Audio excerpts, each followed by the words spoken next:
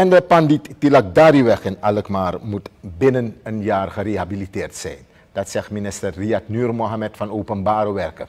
De aannemer die belast is met de werkzaamheden is in 2019 begonnen. Echter is het project nooit volledig opgeleverd. De minister zegt dat de regering achterstallige betalingen had bij de aannemer, waardoor die de werkzaamheden had stopgezet. Er zijn in feite geen nieuwe afspraken. Het is alleen maar zo dat het project, vanwege het feit dat die weg een belangrijke ontsluitingsweg is, landbouwgebied, hebben wij gevraagd om het project voor te zetten. En dat is wat u nu ziet. Uh, weliswaar is de uh, uitvoeringstermijn verlengd. En dat heeft gewoon te maken met de betalingsverplichting van de overheid. We kunnen niet heel snel alles betalen. Dus het is verlengd. Uh, en de aannemer kan daarmee ook werkgelegenheid over een lange periode garanderen. Uh, voor de rest wordt de weg gewoon verder gemaakt zoals hij gemaakt moest worden. Hoeveel zal de rehabilitatie van de weg uh, de staat kosten?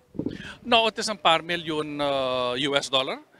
exact bedrag weet ik niet, maar het is in orde van een paar miljoen. Ja. Minister Riyad Nur Mohamed. De districtscommissaris van Komowene, Mohamed Safik Rajab, is teleurgesteld in de aannemer. Hij vindt dat het werk met opzet wordt opgehouden.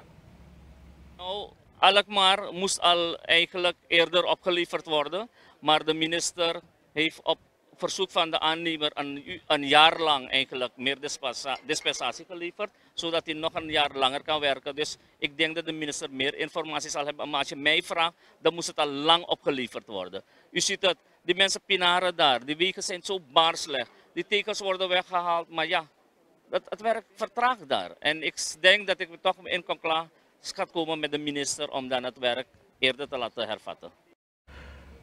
En dat was dus districtscommissaris Mohamed Safik Rajab van uh, district Komowene.